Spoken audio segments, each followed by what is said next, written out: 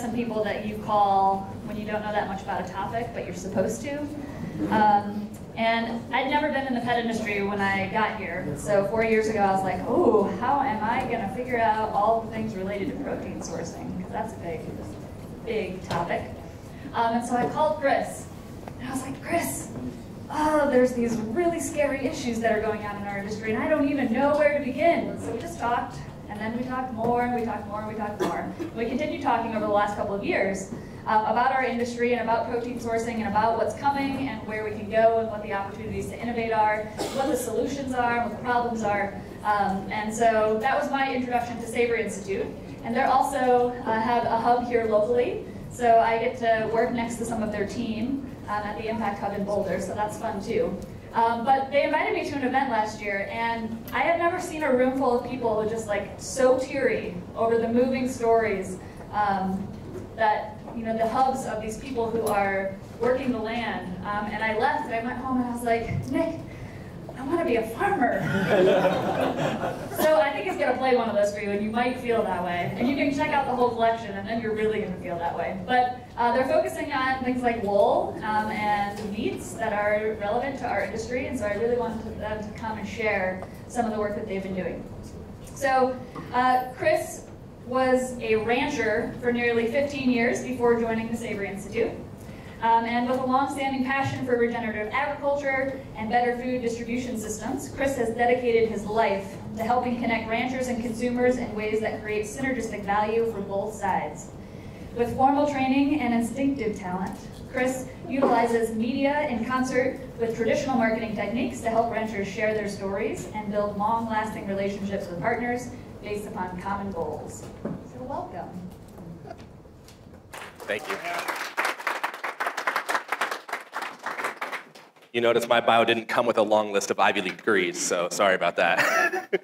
but yeah, as Caitlin said, we've been collaborating for the last couple of years. It's been a really fruitful relationship. And, and I want to tag on to what was said earlier about how great it is to really be part of a frontlines movement. You guys really get it. This isn't something that we have to go back to square one, and so we can have really relevant conversations. There we go. So I want to start today talking about some friends of mine. These friends are these are actually cows that I owned.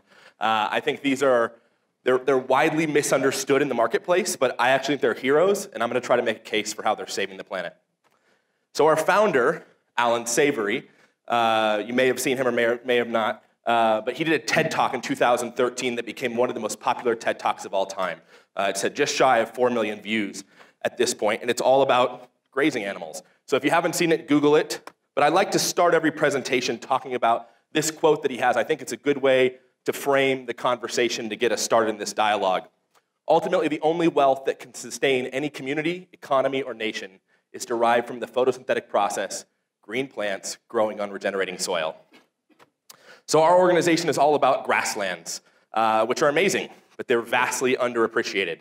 Uh, but they're responsible for sequestering carbon, functioning water, water cycles, uh, abundant food cycles, and over a billion people live on, on pure grassland. So we're not talking about savannas, tundras, we're talking about just pure grasslands right now at the moment. Of those pure grasslands, 70% of them are degraded, mostly desertifying, which means that we've got broken food cycles, food shortages, failing economies, broken water cycles, and climate change. So, one of the, things that Allan is really famous for being dogmatic about is his unyielding position that only managed grazing animals can save civilization as we know it.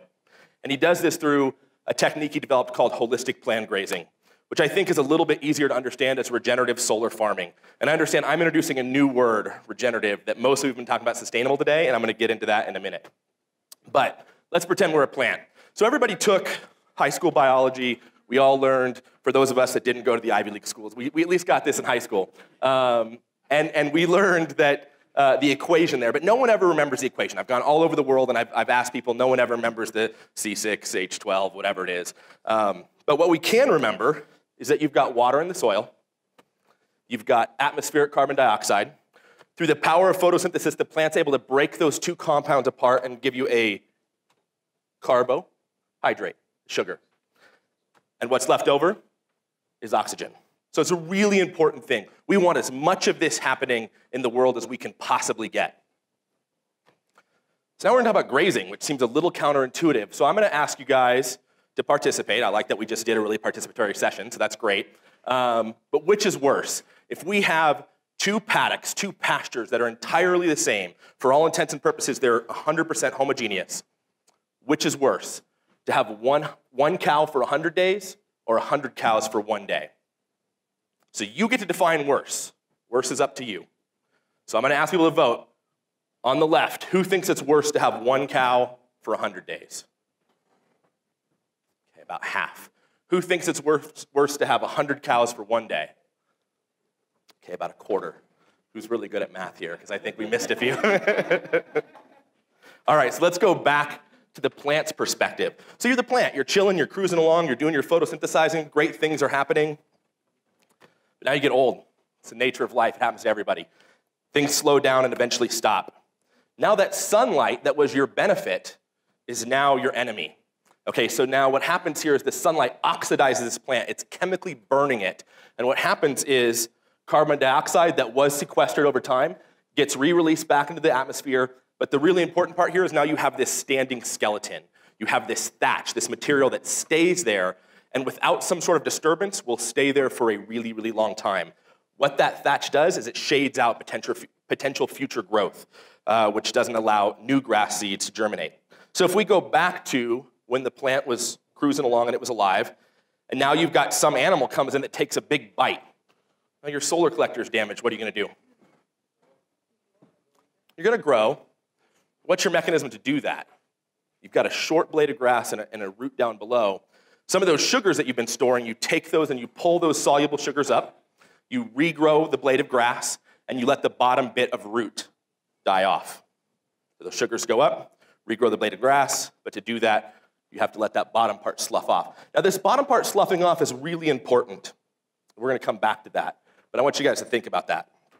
It's a really cool thing that just happened. And then over time, with enough um, time has gone by, then that root can regrow and you build resiliency back into the system.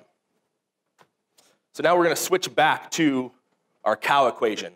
So in the left there, I've got one cow for 100 days, and that cow is cruising around and she goes, To us, it just looks like grass, but there's actually quite a few species out there. And the more species, the more biodiversity we have, the more resilient the system is. So she goes out and she picks her first favorite thing, and then her next favorite thing, and then her next favorite thing. And over the course of a few days, the plants that sloughed off their root and regrew, they look fully healed to us from above the ground. It looks like, hey, we've got this back. But she goes in and bites again, and we've just broken what we call the law of the second bite because now we haven't had enough time for the root to regrow and rebuild sustainability back into the system. So we pulled money out of our savings account and we didn't make time to put it back. In the system on the right here, where you've got the 100 cows for one day, they go in and there's competition. So just like the buffet back here, you've got that plate of cheeses. Maybe there's one cheese that everybody likes, but if all 70 of us went back there at the same time, you wouldn't wait to get the one cheese that you wanted. You'd grab whichever one was in front of you because you're hungry. And the same thing happens there on the right. Competition is built in, and you eat evenly, and you mow evenly, and it becomes a uniform catalyst that happens in the pasture there. The other interesting thing, if we go back to our first side there, that cow that's picking her favorites and then her next favorites and then her next favorites isn't picking the things that she doesn't like. Now, those things might actually be healthy for her. Uh, that the animals on the right get a more balanced diet because they eat more diversity. But so now she's, we've already defined that she's overgrazing those plants that she likes, but she's simultaneously undergrazing the ones that she doesn't like. And that's a really bad thing.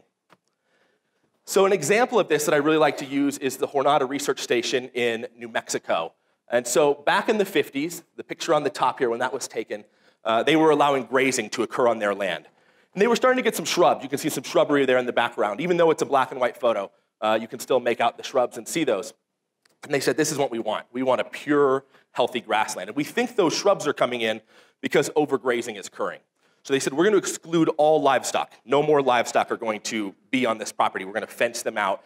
Even they went to the point to where they were fencing out some, some native grazers. Said, We don't want any grazing to happen because we're going to let this land rest and heal. If you look at the bottom, that's what it looks like today. This photo was taken in the last two years. And what's changed?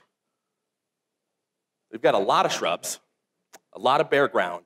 And what grass is there is that gray color. That's that oxidized grass. That's a dead grass. It could have been dead for 30 years, and it still looks the same. And this is what that looks like up close. So you can see the bare ground around there. You can see there's some yellow material. That'll be from the last two years. And everything that's gray will be older than that. It's really hard to age how old it is, but it could literally be decades to 100 years old. And you can see this process happening in a, in a thatch roof. Uh, this is a photo I took in Zimbabwe when I was working with uh, a community there. And you can see that it's just the sunlight just penetrating that top layer. This is all the same age. And so the material at the bottom isn't getting that chemical oxidation. Okay, so we go back, we've got our land, We've got some grass growing. We were lucky to get some grass to grow. But at the end of its life cycle, we've now figured out we want it to biologically decay. We don't want it to chemically oxidize in the sun. In places where it's humid all year, this isn't a problem because microbes in the soil and bugs, it's mostly bugs, will act as your grazers and they will break down all that biological material. So they're going to bite it into small bits, poop it out, or make it into smaller pieces that then can get incorporated into the soil.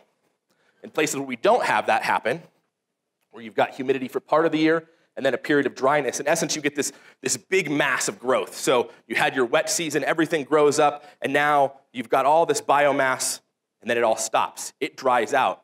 And because there's no water, the bugs and the microbes either have a mass die off and or go dormant. Okay, so now our mechanism in nature here to break that material down isn't there. This is what it's like on all the areas that are brown. It's about two thirds of the world's land is what we call brittle, meaning it's got this period of humidity or, or a wet season and then a dry season. Also happens to not be where many of our people live. So most of our policies, if you look Europe, the East Coast, all of our big cities in Asia, they're all in places that are non-brittle. So the mass of human population is now becoming more urban, and they live in places that are non-brittle. They don't understand these brittle environments, and our policies then don't reflect that. But if we go back to nature, these are the places, those brown areas, those places that have a dry season and a wet season that are very, this juxtaposition, this stark contrast. This is where nature employs the beauty of the rumen. So the cow, or the, the native grazer, uh, she's mobile. She's got four legs. She can get around. Those microbes can't get to new water. So I call the cows our, our portable pack of microbes. She goes in and she takes a bite, and it goes into her rumen. Now, a rumen, that first chamber of her stomach, if you learned that in, in, in biology or uh, a life science class as well. It's that first chamber, and it's like a giant fermentation vat. So it's like if anybody in here is into making their own kimchi or sauerkraut, it's very much similar to that. It's warm, it's dark, and it's moist. That's everything that bacteria like.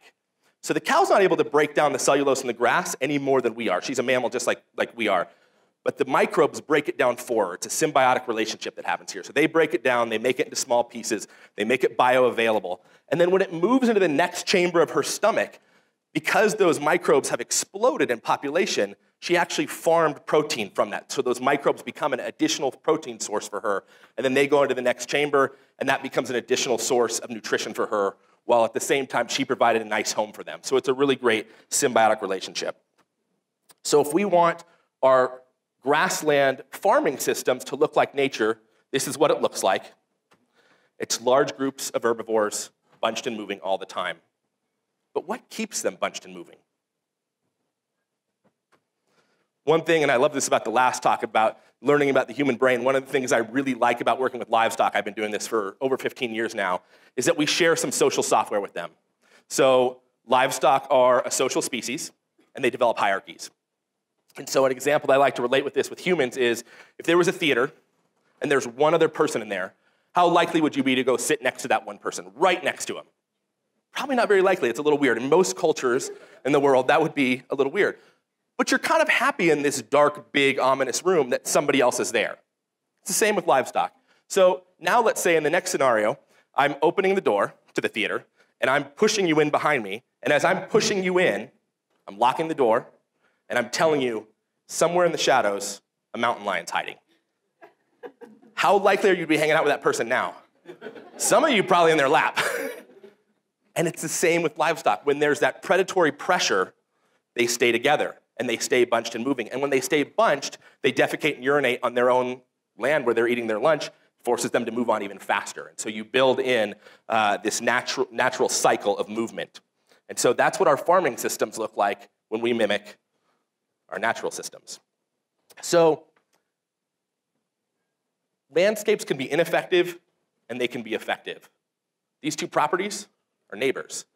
This is in Mexico, and the property on the left uses very standard grazing practices. It's a very extractive process. And the property on the right uh, has built in, using our methodology of grazing planning, a way to heal their land. So on the property on the left, when it rains, that soil is compacted, it's dry, and the water runs off. There's oxidation happening, and so that CO2 is oxidizing back out of the soil. On the property on the right, the H2O, the water's got a place to go in. There's all sorts of mechanisms for it to go into the system, and then life begets life. It's a positive upward, upward cycle, and we're sequestering massive amounts of carbon while we do it. So you might be thinking to yourself, okay, this is rotational grazing. I've heard about this summer before. I read it in a magazine. I've got a rancher friend. Um, I get this. It's way more than rotational grazing. We've been rotational grazing for millennia, and we've built the vast deserts of the world. What's different about holistic planned grazing is that it takes a triple bottom line approach. And so we look at the social, the environmental, and the economic all together. And so when we're planning for grazing, we're looking at, of course, forage production. We're looking at the livestock needs. But we're also building in things like what do native wildlife need? What do they want to really flourish here? What kind of piece of land do I want to leave to my children? Uh, if I'm doing crop production, what kind of needs are there? When are my low cash flow times? When am I uh, short on money? When am I long on money and want to make some of the investments that I'm going to need later in the year? Um, am I building in time for my family? Am I make sure that I have stable relationships? Are we taking vacations? Are we doing the things that are important to us for our life? And so I call this the molecule of well being. Many people today have talked about it, uh, these, these three pillars. Um, but I like to think about it as a molecule because it, it relates well with this analogy of can you manage the hydrogen in this glass of water? And that's the same thing we're doing when we're trying to run our businesses managing them just for profit. If we're not looking at the social and the environmental impacts as well, we're doing just the same. So this is what holistic planned grazing might look like. This is a very rudimentary example. But okay, so I want to take a family vacation. Let me move down to this paddock here where uh, I've got more feed. It's really easy keeping. I don't have to worry about things. I'm going to plan all this at the beginning of the year. So this is not at all reactive. This is proactive. Okay, now I'm looking at this paddock over here. No, that's not a good time because that's when the ground nesting birds are there. So that's not a good spot to be. Okay, so scratch that from the plan. Okay, after that, we're going to go over here. This is our easiest paddock. Uh, it's closest to our house where we live, and it's my low cash flow season, so I'm going to lay off some employees or, or, let them take vacation or whatever. Uh, and then now we move over here. Okay, the birds have migrated out, they've moved on. But this is also where there's lots of shade because it's down along the creek, and the animals really need shade in the summer, really uh, boost their health. Okay, we're gonna come over here. And then let's say I'm running a business, I've got some sort of direct sell scheme that I'm a part of. Uh, I wanna finish my animals in the best pasture. This is my best pasture. Okay, I'm gonna finish over here. And then, most important, I don't recover, I don't come back until I have full recovery, until the roots have fully regrown. So, again, when we're looking at the human view down, not just because the, the leaf blade is regrown, but we've had full recovery of the roots.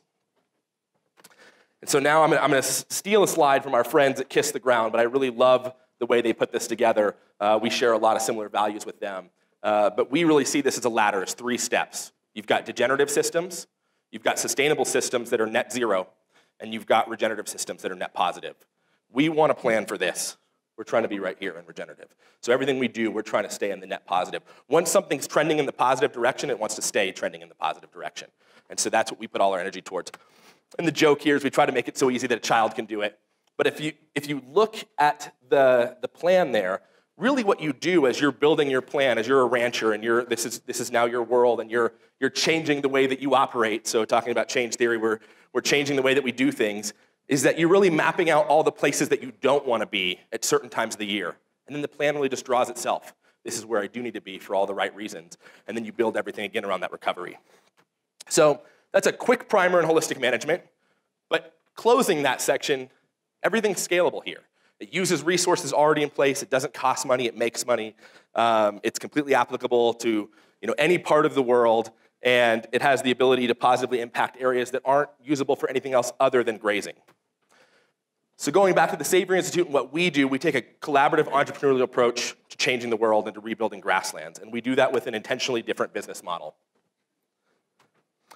We think there's a ton of opportunity out there for this. Land degradation costs an estimated $40 billion annually worldwide from the UN FAO. The estimated cost of mismanagement of all natural assets to the world economy today is about $6.6 trillion, or 11% of global GDP. This one's my favorite. The annual loss of 75 billion tons of soil costs the world about $400 billion per year. Let's think about that one for a minute. So every year is what, what he's saying here 75 billion tons of soil disappears. And we have about 7.5 billion people on the planet, which, if I'm just doing some quick cowboy math, means for every human alive, 10 tons of soil gets eroded every year to grow one ton of food. That's how much food the average person eats in a year. That's not going to work out too well. so, our philosophy is that we need to empower ranchers and farmers. We need to measure the outcomes, and we need to grow the movement through strategic partnerships, which is how I got involved with PSC. um, we do this through what we call a hub strategy. So, we have um, proxies in a region all around the globe. So these are people that come to us. It's kind of a, a quasi franchise model, but they come to us and say, we really want to be the leaders of this in our space, and we empower them with everything they need to be successful there. So they, in essence, license the tools from us, and they go out and they run it in their own regions. And these folks do everything from consulting, they do market aggregation, they work with policymakers, they uh, work with researchers. Uh, I call them centers of innovation. They're really the place, the spark in a given region to make this happen. We currently have 30 of those around the globe that are either in the process of being accredited or already accredited. And I need to update this slide. Uh, I've got the new numbers. I just called in uh, this week and, and, I need to get it updated. But we've, we've now impacted 7.5 million hectares just since the Savory Institute started in 2009. So our movement of holistic management is older than organic. It goes back to the 60s is when it started. Uh, and it's about the same size as organic. But this is just since our starting in 2009, we've positively impacted seven and a half million hectares of land. Now, a hectare is two and a half million, two and a half acres. So we're at about 19 million acres around the globe that we've uh, done that's just through the hub strategy. And we've trained about 4,500 people now. So I know that says 3,100, but we're at about 4,500 now. Our goal is to positively impact a billion hectares of land by 2025. To do that, we need 100 hubs to be going around the world. So we grow by about 10 or 15 hubs per year. And what we think this will change, we think at that point, if we reach a billion hectares of land, we think that's a tipping point to start to see reversals in climate change, see water and food security come back, and to start to see poverty addressed on global scale. So I want to show some examples of what this looks like around the globe. I, I, this is one of my favorite slides. I like to joke, which side gets more rain? Okay, so this is in the Karoo. This is in South Africa.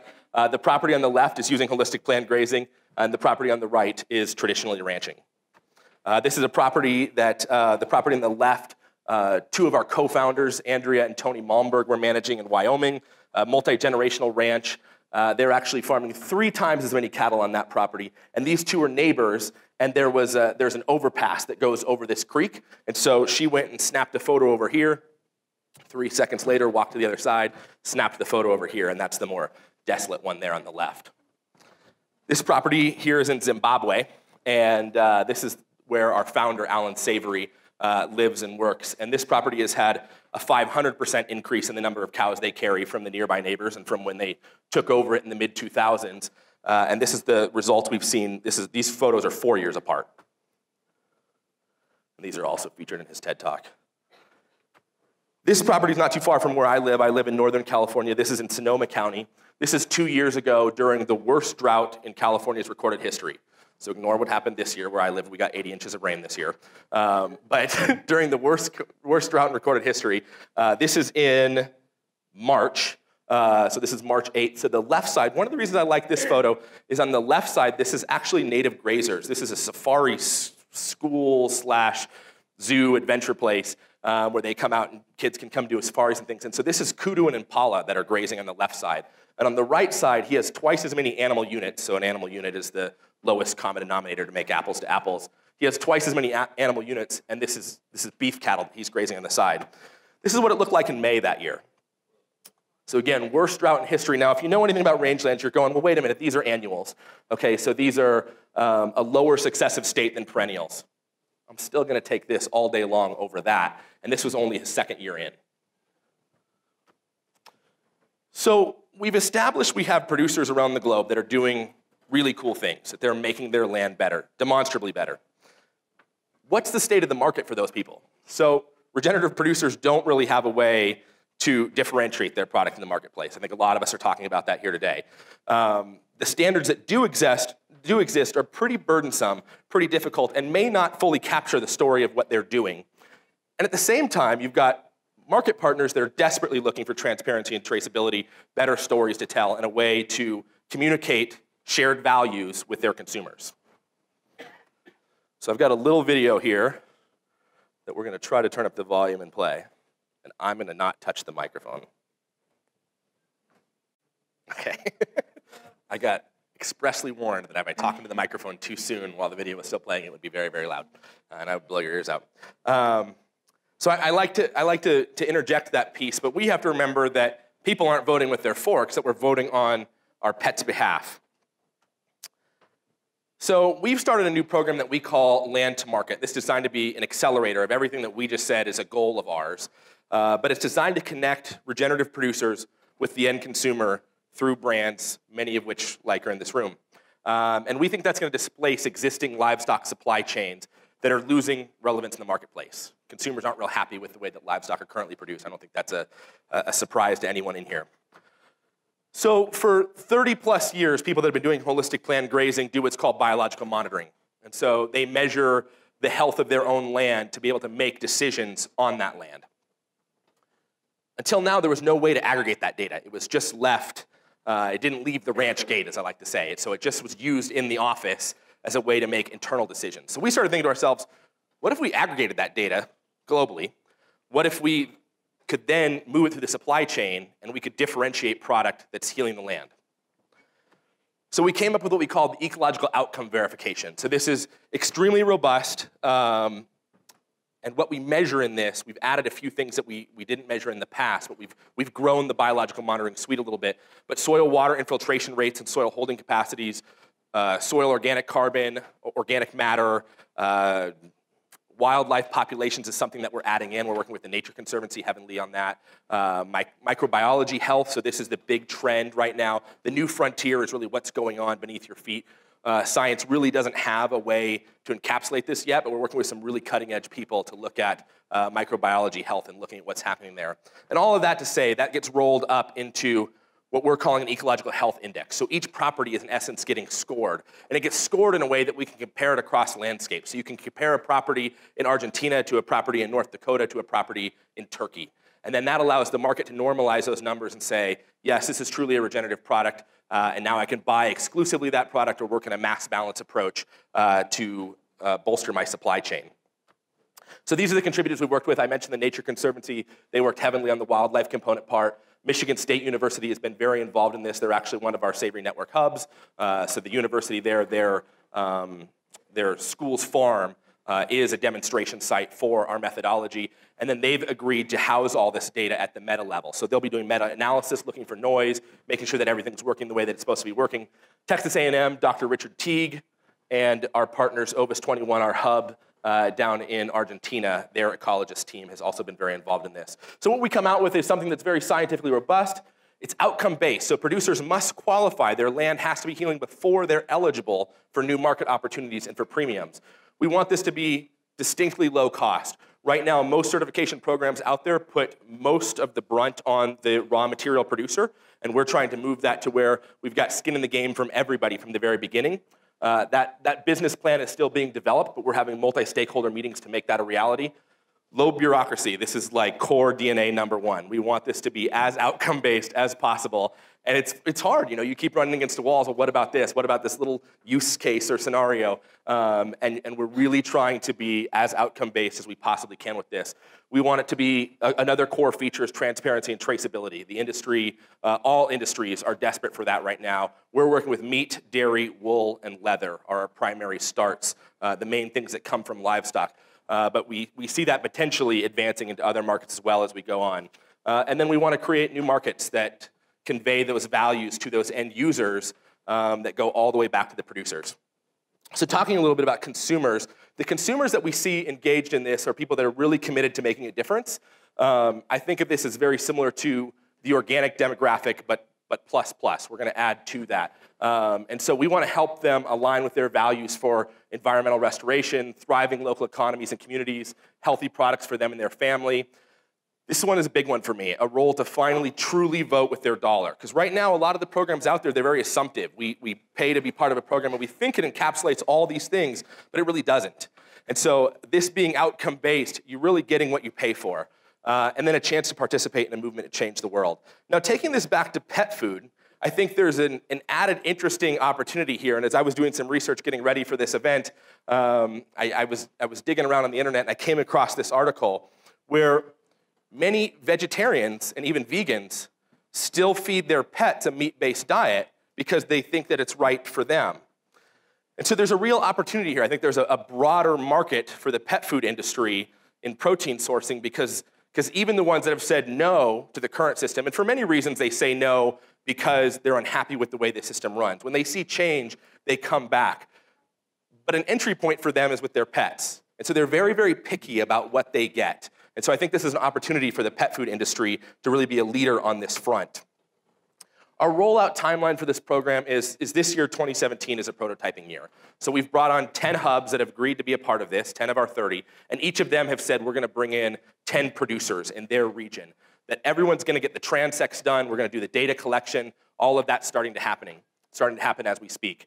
Um, and then we're doing a finalizing of a seal. So for people that do uh, a whole line that's dedicated to regenerative product, they can have a forward-facing seal on the front of their product and all the branding and everything that goes with that.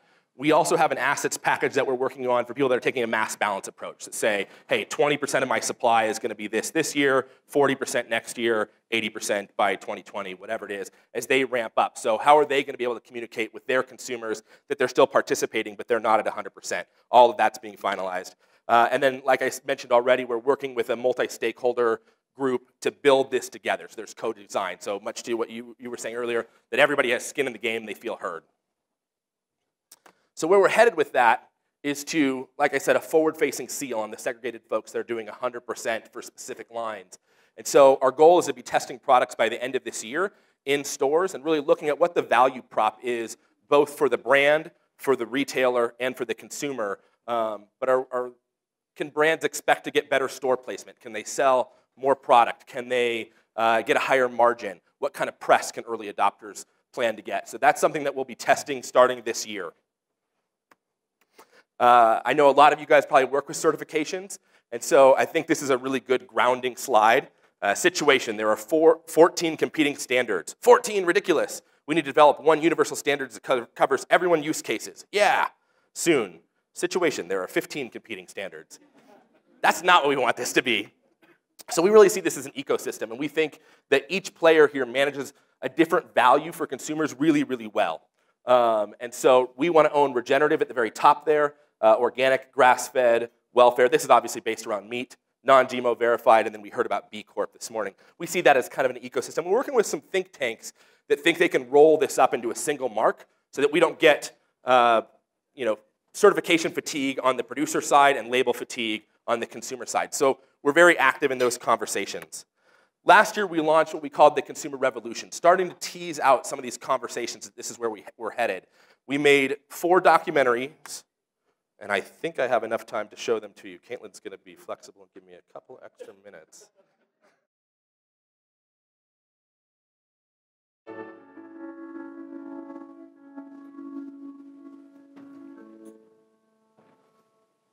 All right, so that was, that was for an event that we had here in Boulder uh, last October.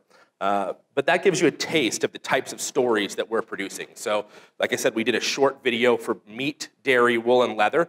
Uh, I can pass that to the PSC team and we can share those links with you guys. They can send them out to you. But we think that story is a big part of this movement. We think that, that story is the way that we connect with people. It's very primal in how we communicate.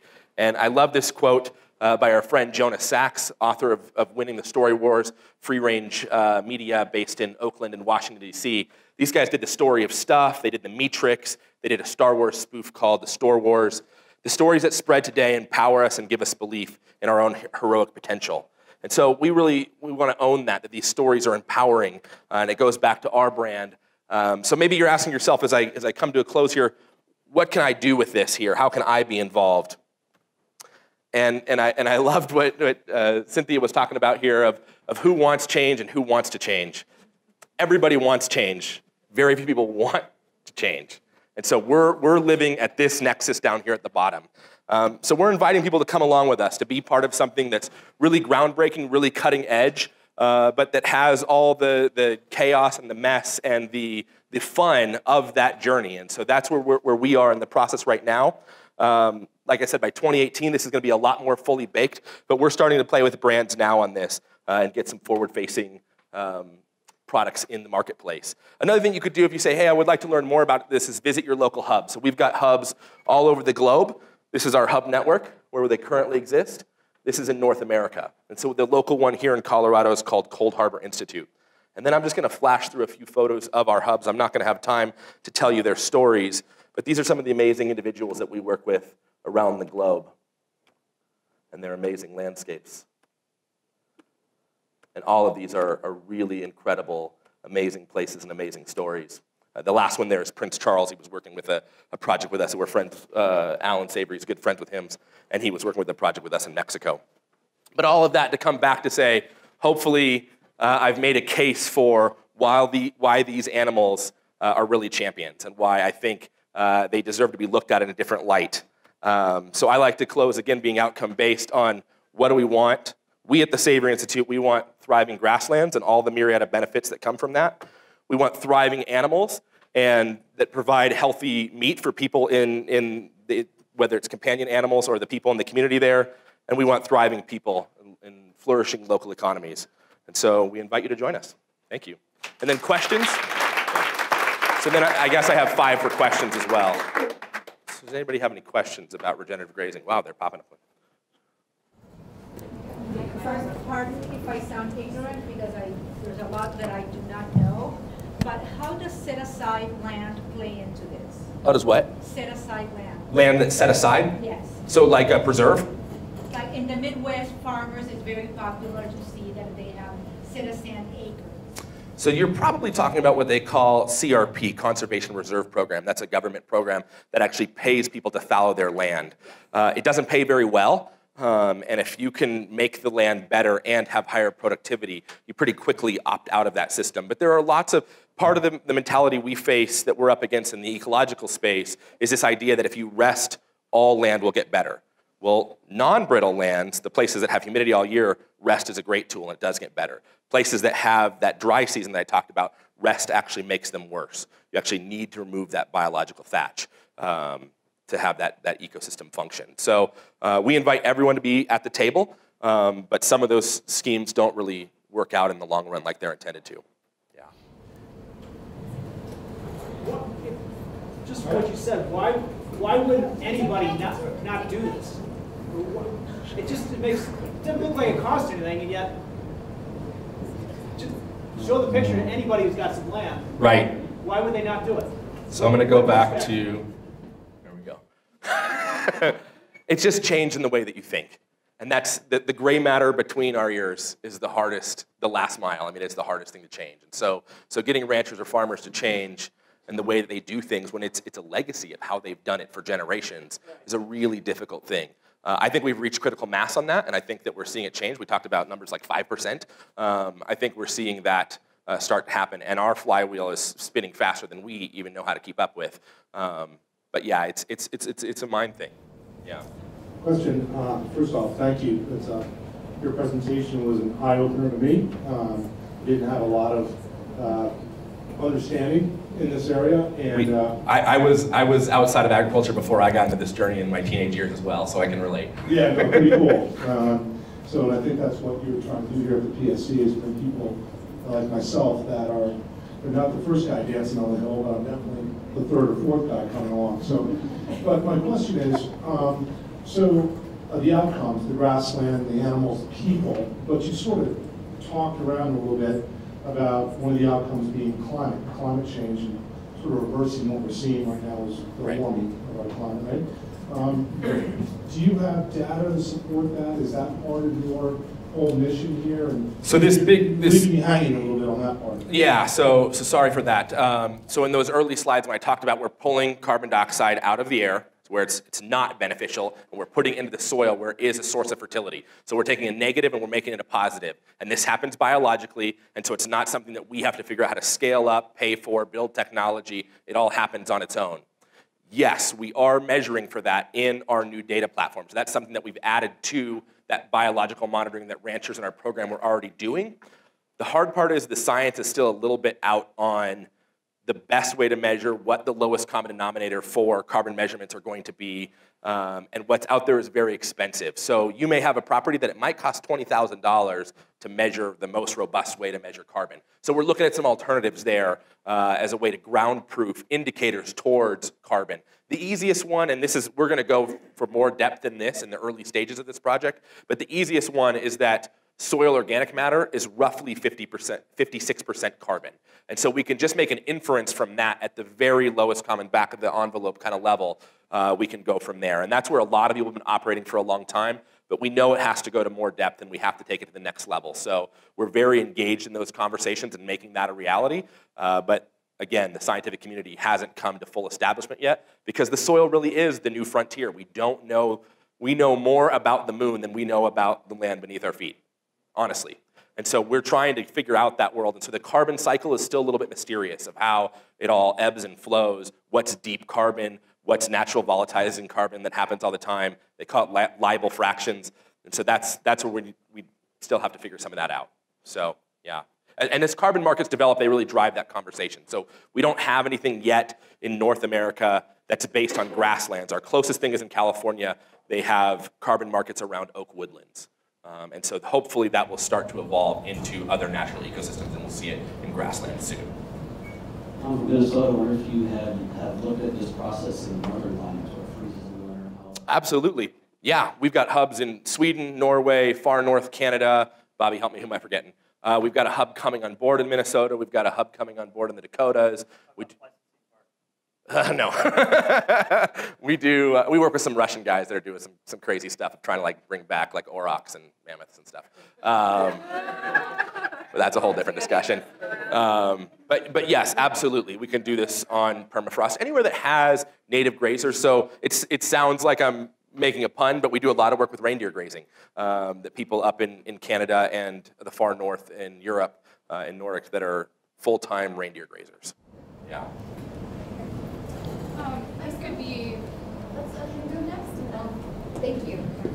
Can you talk a little bit about the efficiency of the system? So if all land currently dedicated to meat production was converted into this, would we have to eat less meat? I stay away from advocating how much meat people should eat um, for a very distinct reason. I don't want to make that choice for you. But when you choose meat, choose meat that's regenerative. And if you're choosing meat that's regenerative, I think it comes um, with a lot less guilt of worrying about how much you have to eat. So I actually think the conversation is, is driven largely around quantity and not around quality. So Meatless Monday, not a solution to the problem if the other six days of the week you're still eating degenerative product. So starting there. Um, but in terms of global scale numbers, we've got enough proof in the box from what we've done over the last 40 years around the globe that pretty much everywhere we can double your production in the first year or two just by finding inefficiencies in the way that most people graze. Those inefficiencies are, inefficiencies are in time. So then, as we change those efficiencies, building that grazing plan out, we can usually double your production. As the land gets better, it goes on from there. So people that have been doing this for 10, 20, 30, 40 years, they're at 3, 400, 500% increases in their production um, without having to make major investments to get there. So absolutely, yes, scalable. Um, I don't think the right question is, is quantity. I think the right question is quality. If we base it around quality every time, I think we always win. So that's my approach on that one. Um, so you hear a lot about like methane, all the methane and cows previous and stuff. So when you're talking about regenerative meat, does that also offset that issue? Yeah, so that's another one that the scientific community doesn't really fully understand how the methane cycle works. Here's what we do know. We know this planet used to have many times more wild ruminants than we have wild or domestic today. Those happen to be before cooling trends, not before warming trends. So if we know that, if the scientific community wild, wildly agrees that we had more wild ruminants than we have wild or domestic ruminants today, something is off on that. And so I either think that's in, one, the way that we manage them today, or two, in how we measure that impact. One of the things that, that I see where a lot of the research is happening is in a bacteria that lives in the soil called methanotrophs. Methanotrophs eat methane for breakfast. It's all they eat. They love it. What kills methanotrophs? We have way lower populations than we've seen even in the last 50, 70 years. What happens to kill them? Nitrogen fertilizers that we use on our croplands. And so we don't have that mechanism that used to cycle it back into the ground and turn it back into other carbons that were part of that fertility cycle. Um, so again, there's still more research out on that. We don't have a definitive answer, but looking again just from inference, if we used to have more of those animals today, they can't be the whole problem. And there's clearly something we're missing in the cycle. And I'm putting my money on the methanotrophs. I think that's a big part of what we've changed, and these salt and petroleum-based fertilizers kill those critters, uh, which then ruin that cycle. Yeah. So uh, Chris and I met the first time over in Paris at the climate talks, and we were staying in a, the same pension that had like 200 people in there with like eight different organizations, Kiss the Ground, Savory, Organic, Organic Consumers Association, uh, IFOAM. Yes, and um, one of the first days I heard a presentation about this regenerative agriculture, and I'm like, wow, this sounds too good to be true. The next day, up on the chalkboard in the um, cafeteria area, there was a sign that said, there are many ways to stop climate change, but there's only one way to reverse climate change. And throughout the 10 days or so that we were there, there was session after session after session of how this is really the only way to turn the clock back by sucking down the carbon. And it's amazing what this whole regenerative agriculture movement can do, and it's really just now coming to light. I would love to see that seal, whatever you guys are coming up with, so that as pet food and treat manufacturers, we can identify the ingredients that we want to go into our products and make sure they're regenerative. One of the fun things that we did was for two full days, we put Monsanto on trial. Yes, it was in a big auditorium somewhere in Paris, and we had people sitting up on the front as judge and jury, and somebody representing Montan- Monsanto in the jury box. And all, you were there, were you there? Yeah. Wasn't that fascinating? Yeah, was. All the different stuff that's going on with those fertilizers and pesticides that are just changing everything. So Yeah. keep up the good work, buddy. Thank you. I'll pay you for that later. Um, yeah, the soil is the only solution, and that's it. So, you know, we're at 407 parts per million now. We need to be below 350. Keep in mind that means if we stop every negative thing that we do today, it's already baked in. We're already screwed. We have to figure out ways to go backwards. And the only way to go backwards are biological means. I don't know anything out there that scales up. Nothing, nothing that I've seen, even in R&D world, is even close to scaling up and something that we could actually impact on a global level and or afford to pay for. So the only way to do it is through nature. And the way to do it through nature is in the way that we produce our food, because that's our biggest land use. So the soil is the answer. All right, thank you.